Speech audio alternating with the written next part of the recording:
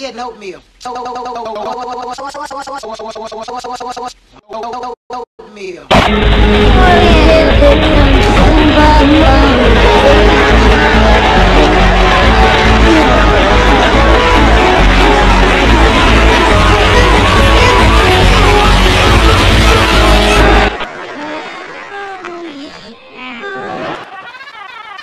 Sorry to tell you, ma'am. I'm leaving